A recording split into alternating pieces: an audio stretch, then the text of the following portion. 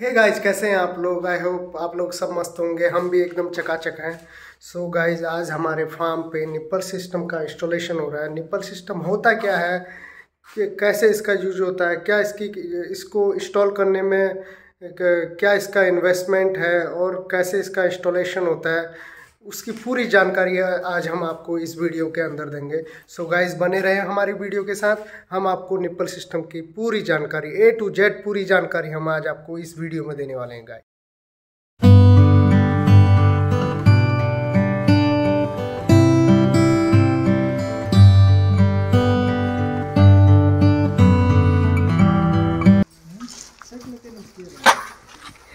ये देखिए guys nipple system का इंस्टॉलेशन हो रहा है।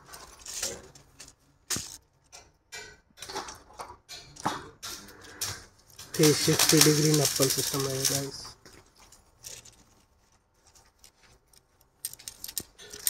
मुर्गा एक चौंच मार के पानी पिएगा इससे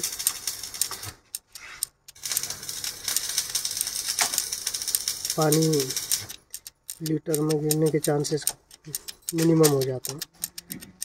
सो वेस्टेज भी नहीं होता पानी का। फ्रेश वाटर पीता है।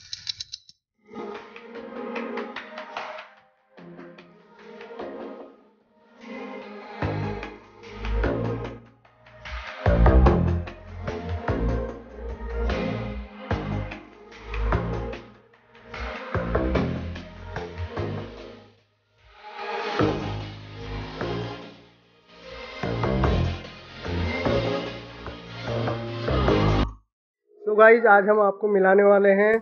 हमारे टेक्नीशियन हैं महाराष्ट्र से आए हैं मिस्टर वैजनाथ। सो ये निपल सिस्टम को यही इंस्टॉल कर रहे हैं वॉल्को कंपनी से हैं। सो हम जानेंगे कि ये निपल सिस्टम के बारे में पूरा ए टू जेड मैंने बोला था जैसे कि आपको प्रॉमिस किया था कि निपल सिस्टम के बारे में हम आपको पूरा जानकारी देंगे। सो हमारे मिस्टर वैजनाथ आपको निपल सिस्टम के बारे में समझाएँगे।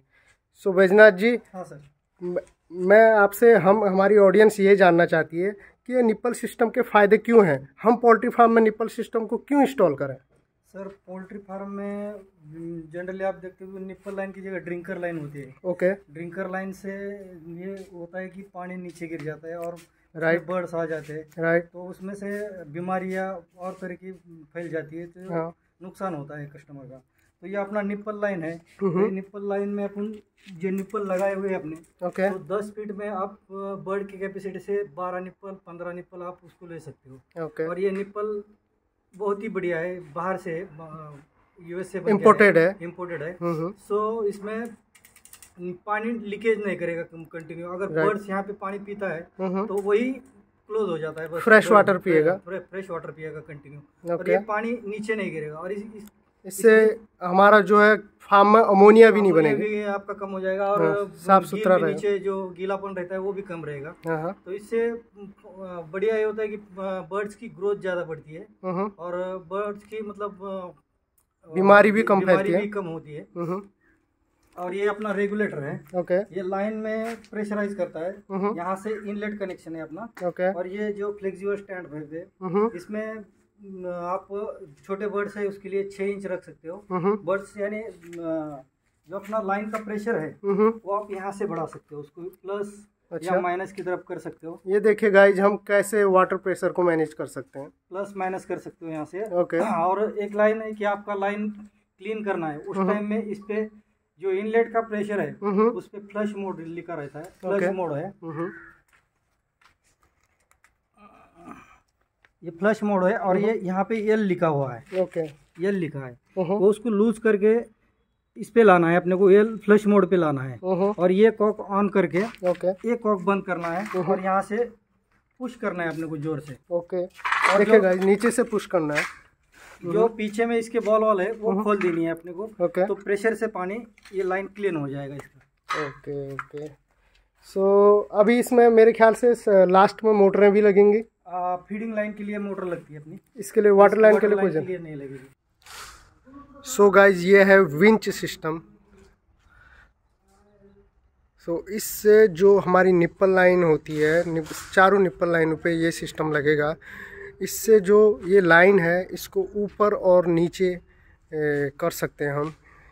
ये देखिए इससे घुमा के हम इसे ऊपर और नीचे कर सकते हैं गाइज़ अपनी रिक्वायरमेंट के हिसाब से चिक्स के एज के अनुसार, उसकी हाइट के अनुसार, उसको एडजस्ट कर सकते हैं, जो हमें रिक्वायरमेंट है, उसके हिसाब से. और जब हम फार्म में सफ़ाई करते हैं तो इन्हें पूरा ऊपर करके हम नीचे इजीली साफ़ कर सकते हैं. और देखिए गाइस ये है वाटर फ़िल्टर सो इससे वाटर फ़िल्टर होके हमारे चूजू के पास जाएगा. देखिए, हमारे जिया जी यहाँ पे काम पे लगे हैं। देखते हैं, इनसे जानते हैं क्या कर रहे हैं, आखिर क्या, किस चीज़ के लिए ये सब कुछ कर रहे हैं तो हम इनसे जानेंगे। हाँ जी सर, क्या कर रहे हैं आज आप? क्या कर रहे हैं? क्यों, केड़ जा लागनी, केड़? अच्छा कहाँ काटी खान? क्या, केड़ से नहीं हो? हैं? थुपड़ी बनाया? किला थुपड़ी बना को अच्छा जाड़ू ना? बट स्वेटर के पहनने रहा है टी शर्ट में ही था। अच्छा अच्छा अच्छा शाम का जुगाड़ा कर रहे हो। तो ऐसा बोलो ना फिर डायरेक्ट चलो, ठीक है। तो दोस्तों, शाम हो चुकी है। हम जा रहे हैं मार्केट थोड़ा बहुत सामान लेके आना है। तो गाइज़ हम वीडियो भी आज यहीं पे एंड करने वाले हैं। सो so गाइज़ अगर हमारी वीडियो से कुछ भी आपको जानकारी मिलती हो, कुछ भी इन्फॉर्मेटिव लगती हो हमारी वीडियो आपको प्लीज़ लाइक कीजिएगा, हमारे चैनल को सब्सक्राइब कीजिएगा शेयर कीजिएगा अपने दोस्तों के साथ और अच्छे अच्छे कमेंट करिएगा। Thank you so much guys bye bye take care